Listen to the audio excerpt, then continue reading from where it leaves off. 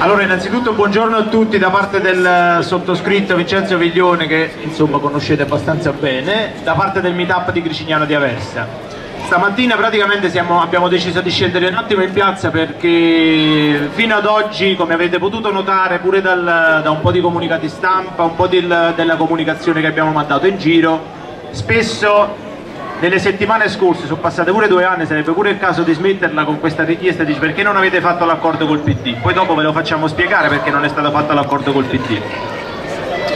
Allora, l'idea era quella di rispondere con dei concetti chiari che possono dare la testimonianza di come una forza politica che due anni fa è arrivata in Parlamento diventando il primo partito da solo quando ci è arrivata, non come coalizione, come è possibile strutturare un'attività politica tra virgolette, secondo qualcuno da inesperti, e come è possibile portare a casa risultati importanti nonostante si sia forza di opposizione. Troppo, troppo spesso negli anni ci hanno fatto credere che eh, coloro che potevano governare un paese, coloro che potevano mettere il naso all'interno di procedure che riguardano il, il bene comune fossero solo ed esclusivamente le forze che stanno al governo. Allora è passata l'idea che per poter fare qualcosa si, bisognava stare al governo. Oggi invece noi abbiamo delle testimonianze chiare. La prima ve la farò dare da, direttamente dalla voce di un eh, nostro portavoce nella Camera, che è Salvatore Vicillo, capogruppo del Movimento 5 Stelle all'interno della Commissione Ambiente alla Camera.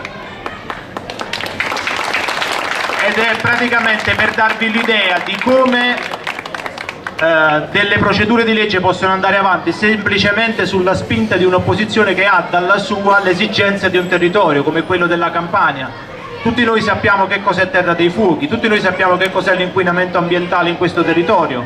Allora c'è qualcuno che con perseveranza e con caparbietà due anni fa ha cominciato questo lavoro, ha costruito un progetto di legge che oggi aspetta solo di essere approvato per diventare norma dello Stato in maniera definitiva e ve lo faccio spiegare direttamente dalla sua voce che non vedo tra virgolette esperienza eccolo qua allora da parte mia un benvenuto a Salvatore che è un amico prima di tutto poi eh, abbiamo l'esperienza politica in eh, comune Salvatore com'è possibile praticamente arrivare ad un risultato concreto pur essendo forza di opposizione?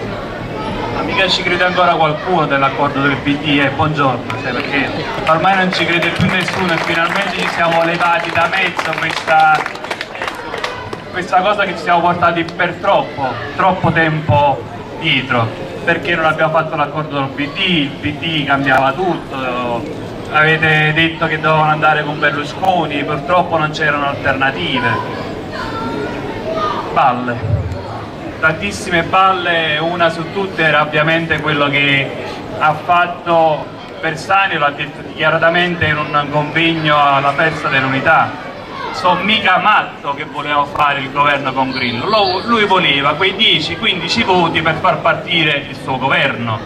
Allora una forza politica che ha avuto il 25% noi abbiamo detto guarda dacci qualche conferma in più, dacci, non lo so, inizia a tagliare i 42 milioni di euro di rimborsi elettorali che noi abbiamo rinunciato, inizia a togliere gli stipendi parlamentari perché chi vi parla ha rinunciato a 100.000 euro dei propri stipendi parlamentari, inizia a darci qualche informazione in più dei 10-11 voti che ti servono.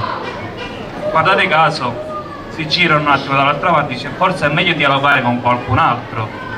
Il dialogo si avviene su qualcosa di concreto. Sì e te parliamo due lingue differenti, credo che difficilmente riusciamo a dialogare. Se noi abbiamo una visione diversa dell'Italia, se abbiamo una visione diversa della regione, difficilmente riesco a dialogare con qualcuno che la pensa diversamente come me. Il dialogo è sì una specie di compromesso, dire io la penso in un modo, tu la pensi in un altro, arriviamo a un punto e arrivo appunto alla mia legge sui reati ambientali, ma significa avere di base qualcosa di uguale, altrimenti è inutile parlare con qualcuno che non ti ascolta, che vuole tutt'altro dalla tua visione politica. La legge sui reati ambientali era la proposta più semplice del mondo, chi vive in questi territori sa esattamente che chi è inquinato questa terra non ha mai pagato chi ruba una mela oggi va in galera, chi inquina no.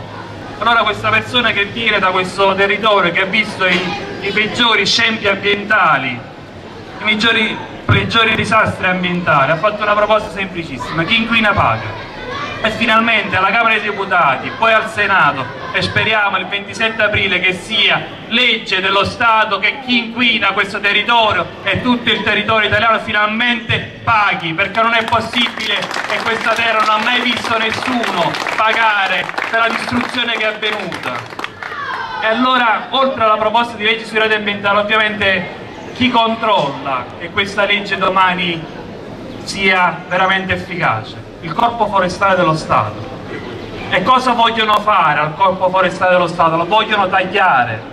C'è chi fino a questo momento ha portato i maggiori risultati di contrasto a chi ha ucciso questo territorio, vogliono metterlo da parte. Non me ne vogliono i militari, ma vederli fermi, loro, su una camionetta a guardare che passano e non far nulla ci saranno sicuramente quelli che hanno fatto tanto, ma ci vuole chi entra in questo territorio e con intelligenza sa capire esattamente dove va a sversare, dove sono i piani criminali che vanno a distribuirsi, quale intelligenza di capire un territorio e capire dove sono i traffici e dove vanno. Allora se vuoi cancellare il corpo forestale dello Stato significa che vuoi dare una mano a chi vuole uccidere questo territorio. Altro punto fondamentale, e lo ripeto spesso perché arrivo da, da Giuliano in Campania, c'è un campo di ecopalle che sono 360 campi e la regione Campania ha avuto una grande idea, vuole incenerirli, bruciarli. Allora da una parte si vuole attuare l'inquinamento ambientale e quindi far pagare chi inquina, dall'altro vuole far incendiare 360 campi di palloni ricoperti di ecoballe in un inceneritore. Allora insieme a Vilma Moronese, alla Commissione Ambiente, abbiamo attuato un piano alternativo per far smaltire quelle balle. Detto apriamole perché non è rifiuto, è materia. E materia significa denaro, significa sviluppo, significa lavoro, significa far venire i migliori esperti al mondo, farli studiare insieme ai nostri studenti universitari e far capire cosa vogliamo da quelle ecoballe significa che dal punto più basso della nostra terra poter risalire. Perché se conoscete, andate su Google e vedete Taverna del Re capirete esattamente di cosa sto parlando. Quello era l'esempio lampante dell'emergenza ambientale. C'è un'emergenza, si apre e si chiude Taverna del Re. Per far capire poi ai vari commissari straordinari, ai vari presidenti del Consiglio che loro avevano risolto chiuso un'emergenza ma un'emergenza ambientale non può durare vent'anni significa che quell'emergenza era stata creata ad ordo, ad hoc, per far capire e far arrivare soldi, perché l'emergenza ti porta soldi. E l'emergenza era quella, far aprire, chiudere discariche. E noi da sempre abbiamo portato il nostro piano alternativo, oltre a quello per Taverna del Reti, un piano alternativo per non far aprire discariche e generatori, Ovviamente parliamo della raccolta differenziata, di rilazzamento, dei siti di compostaggio che sono 11 chiusi, tutti in campagna, trattamento meccanico manuale. Ci sono aziende che arrivano al 99,9% di raccolta differenziata ma nessuno ve lo dice. Vi hanno fatto passare per gli ignoranti che non dovessero fare la raccolta differenziata. Vi hanno fatto passare con quelli sporchi invece erano tutte emergenze che avevano creato ad arte per vendervi poi all'estero e dire stavano fare mancare raccolta differenziata. Questo vi hanno venduto. Questa era la loro idea di campagna. Oggi abbiamo un progetto che è il Movimento 5 Stelle e che non nasce oggi.